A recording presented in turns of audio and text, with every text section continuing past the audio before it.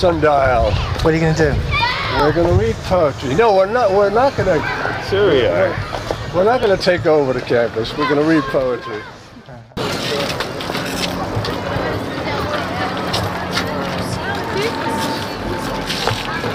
I need the fucking ballad.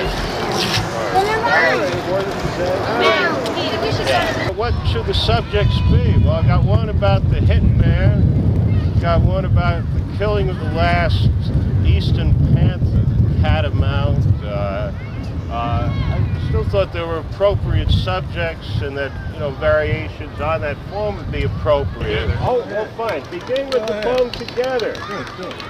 Uh, another work called Summer Street. Uh, he's been a frequent contributor to The Smith, our literary magazine, and to Pulp Smith, our unliterary magazine. And Wyatt is uh, a new contributor to Pulp Smith. So without further ado, here they are. I'll try not to fall off. Okay. Okay.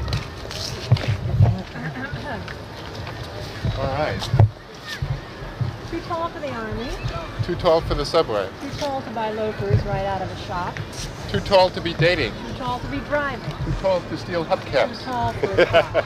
Too tall for a model. Too tall for a jockey. Too tall to be teenage. Too tall to be old. Uh, too tall for the chorus. Too tall for the co-star. Too tall to be secret. Too tall to be told.